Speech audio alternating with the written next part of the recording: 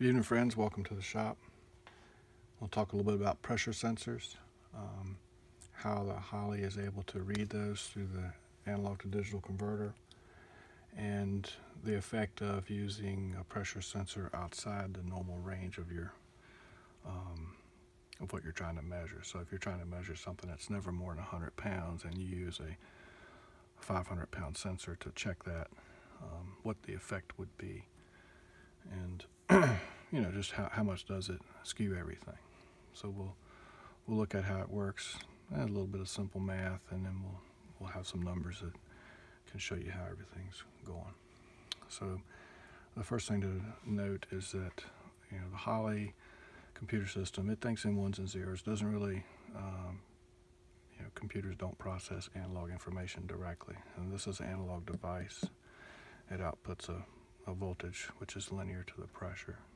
Low pressure, low voltage, higher the pressure goes, the higher the voltage is. And these run from 0.5 to 4.5 volts. So the Holley has in, in the computer a, a series of analog to digital converters, they're called. And they look at the uh, voltage value of this over a period of time and kind of average it, and then they give a digital number to the reading it got, and that digital number is what's processed um, by the computer. And it, and it repeats this over and over, many, many, many times per second.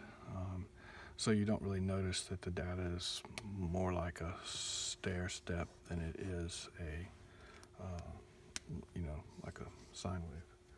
And that's the difference between digital and analog. Um, not not going to try to get into too much of the, that bullshit because it just makes the conversation complicated. We're going to keep it simple. Um, Holley does not publish the um, the bit rate or size on their ADC. I did a little bench testing, and as near as I can calculate, it works out to uh, somewhere around a 10 bit ADC. And what does that mean? So that means that um, it's 2 to the power of 10 or 1,024 pieces, or divisions we'll call it. Um, that means on this 0 to 5 volt signal, 0 volts would be the number 0, and 5 volts would be the number 1024. Actually 1023 because you lose a digit for 0. And in my testing, I determined through noise losses and whatnot, um, it's right at a thousand is what we found um, on the bench here. It, it, operates right at a thousand uh, points for, for that sensor. So knowing that, we can go over here and we can make some assumptions. Let's say that we want to measure um, our engine oil pressure, and engine oil pressure is normally about, uh, let's say 70 psi. And of course, a reasonable person would pick a 100 pound sensor for that. Um, with that 100 pound sensor and a thousand divisions, then it gives you, you know, 0.1 increments, right, for pressure. So during a run, this particular sensor would report 70 pounds of pressure, right? And then say the pressure starts to increase, it would then report 70.1, 70.2, 70.3, right? That's how it would work. What if we used a 200 pound sensor instead of a 100? All right, well again, you just move the, the decimal point over. And so now we have an engine that will report 70 pounds of pressure, and if the pressure increases, it will report 70.2. 70.4, 70.6, and so forth, all the way to 200. This one's going to stop at 100. The number of the divisions is the same. It's a 1,000 divisions from 0 to 200. But the value of each increment is obviously higher on this one. We're going to do in 2 pound increments, 0.2 pound increments here, and 0.1 pound increments for this one. What if we use a 500 pound sensor? Well, now we're going to be in 0.5 increments, right? And this is again with the Holley system. So we'd be at 70.0, 70.5, 71, 71.5, and so forth, all the way to 500. Because it has farther to go, it has to make a bigger jump between each. Uh, the value is bigger between each division. Pretty pretty straightforward. But what I want people to think about is, you know, do you really care if your engine oil pressure is 70.2 or 70.3 or 70.4? Do you need that 0.3 in the middle here? Right? Or are you happy just knowing it was either 0.2 or 0.4? Most people would be happy with that. And e- even half pound increments, most people would be happy with. If they knew their oil pressure within a half a pound, they'd be satisfied that you know they have oil pressure. So the reason I bring that up is because it's a it's you're always an advantage to use as many of the same thing as you can on your vehicle. It's less spares to carry around. If you're having troubles, you can swap one sensor for the other, try to figure out what's going on that way, and not have to buy any extra parts.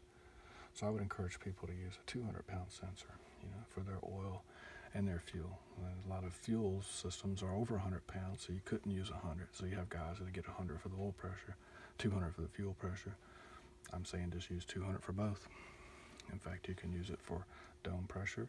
You can use it for a back pressure monitor if you have a turbo application. So that sensor is really helpful and can be used in a lot of places on the car. You could technically do a 500 pound sensor. I don't think I could get very many people to buy it because they wouldn't think that that's enough accuracy, but in fact it is enough accuracy for most of what we're doing.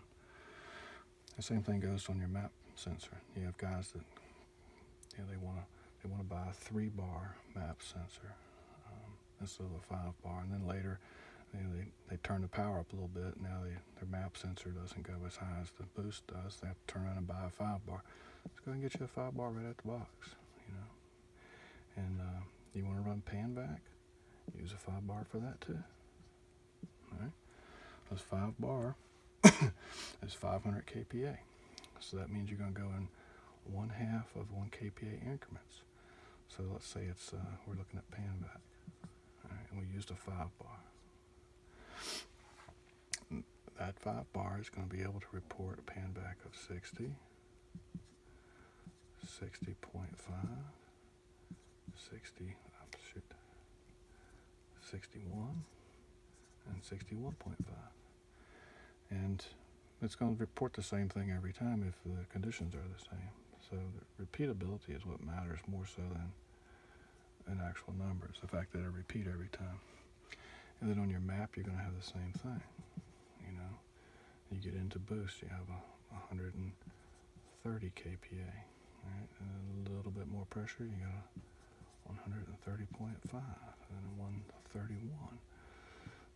And it's just, I don't see the point in trying to pin down uh, the map sensor to the exact boost you plan on running. It's just a five bar covers most everything. And once you get over 60 pounds of boost, I think it is, maybe you want to consider a seven or a 10, but for most of us, the five bar is adequate for anything we're doing. So hopefully that explains some things. And uh, if you have any questions, just put them in the comments. I'll try to address those as I'm able. Have a good night. Thanks.